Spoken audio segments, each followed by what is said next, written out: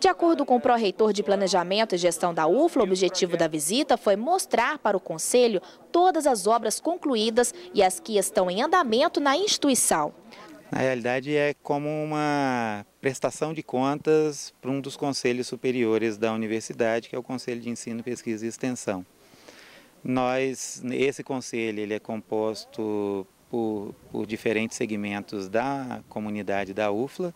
Existem pessoas novas, professores novos, técnicos novos, alunos novos.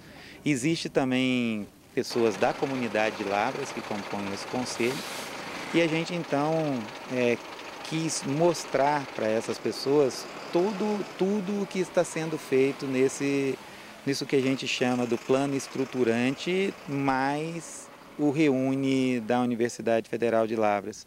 Então nós estamos mostrando o projeto de esgoto, nós estamos mostrando o projeto de energia elétrica, em que nós estamos trocando todo o sistema da UFLA, nós estamos mostrando o laboratório de gestão de resíduos, de resíduos de laboratório, como que isso está como que isso está sendo tratado, o novo sistema de vias que inclui ciclovias e que permite que a universidade né, se expanda nos próximos 30 anos sem qualquer comprometimento, novos estacionamentos, novas construções, né, novos laboratórios, novos prédios de aula.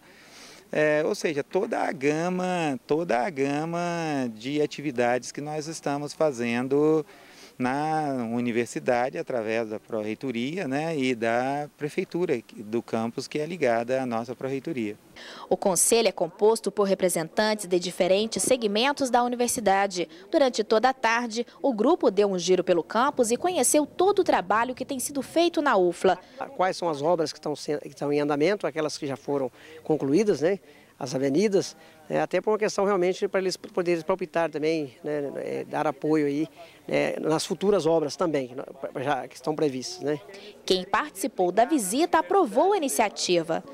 As obras estão, como foi explicado pelo professor Escofa, estão sendo financiadas pelo governo federal e nós temos a possibilidade de estar num próximo governo, ainda continuando essas ampliações e conseguindo galgar um, um patamar dentre as melhores universidades do mundo.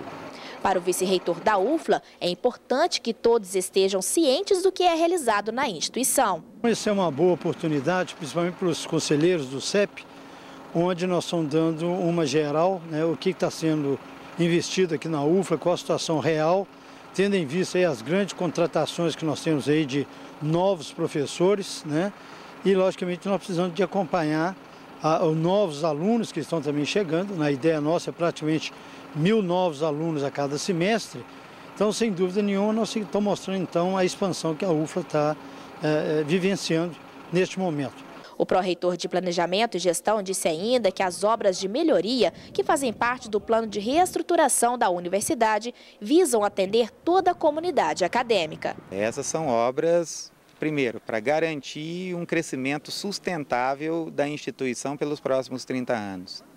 E segundo, ela atende fundamentalmente é, aos estudantes que entram nos cursos de graduação e a toda a expansão, portanto, a todos os técnicos e a todos os professores novos e os professores que aqui já existiam, porque nós estamos fazendo coisas novas e estamos reformando muito do que já existia aqui também.